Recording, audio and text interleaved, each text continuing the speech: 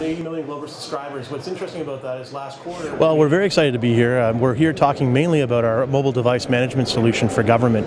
Uh, we have uh, BlackBerry Fusion today, uh, which allows people to manage our devices, which they've been uh, doing for many years successfully, securely. Uh, but we have also added the ability to manage iOS and Android devices as well.